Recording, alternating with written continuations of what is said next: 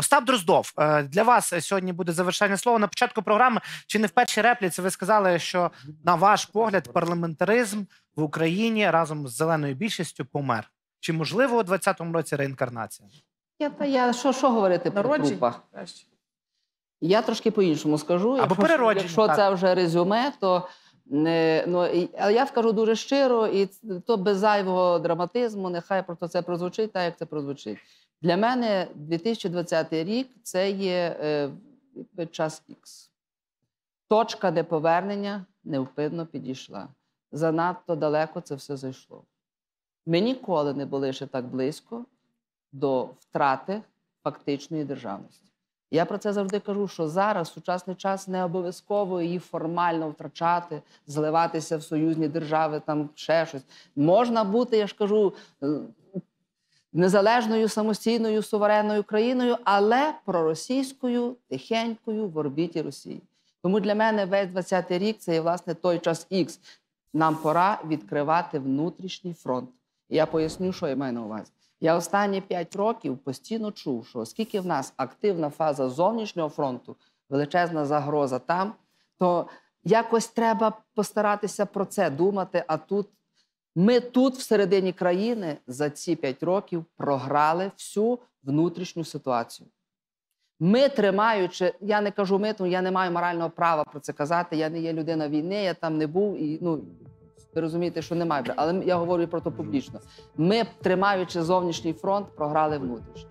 Нас вставляє система, нас пожирає та система, яку хтось захищає в окопах.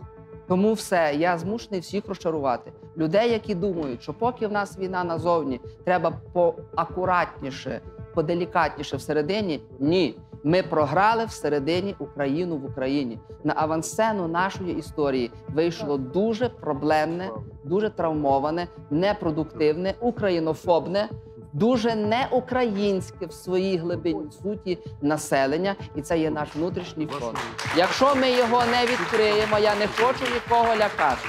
Якщо ми не відкриємо внутрішній фронт за боротьбу не з зовнішніми противниками, а з внутрішніми пофігістами всередині України з правом голосу, ми програємо все. І тоді втрачається сенс взагалі того зовнішнього фронту. Який сенс тримати оборону там, коли всередині країни нас взувають по повній програмі?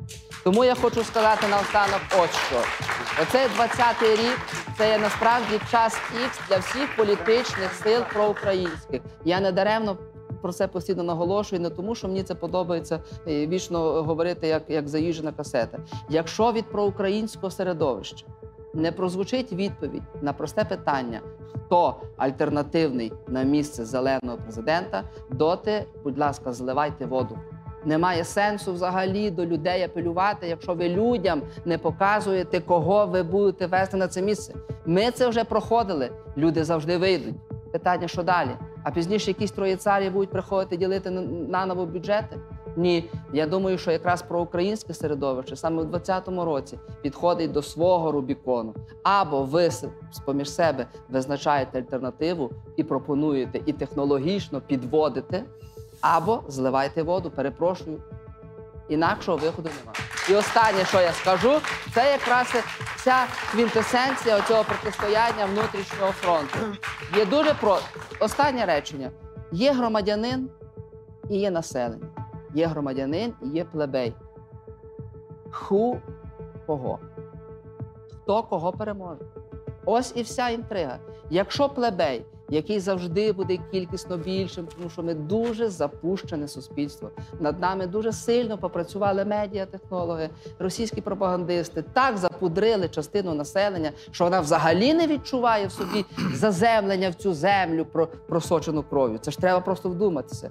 Так, власне, от власне цей плебей завжди буде. Громадянин, будь ласка, 20-й рік твій. Нарешті треба громадянину перемогти і взяти власне якусь ну, авторство за цю за цю країну.